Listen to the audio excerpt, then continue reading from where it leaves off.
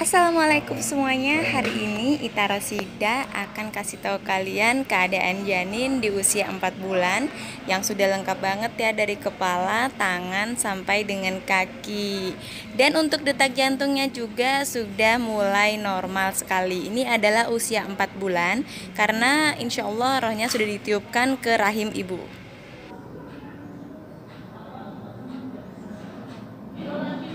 Usia 4 bulan memang matanya belum terlalu kelihatan ya. Jadi dia masih menutup. Kemudian jenis kelaminnya pun belum begitu jelas Masih samar-samar. Nanti usia ke 5 bulan atau 6 bulan jenis kelamin akan mulai terlihat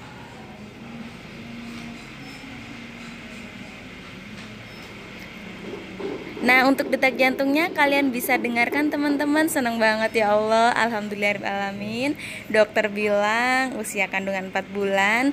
Alhamdulillah sehat. Walaupun kita sendiri masih kurang darah Karena makan kadang-kadang males Kadang-kadang mau makan ya teman-teman. Terima kasih. Assalamualaikum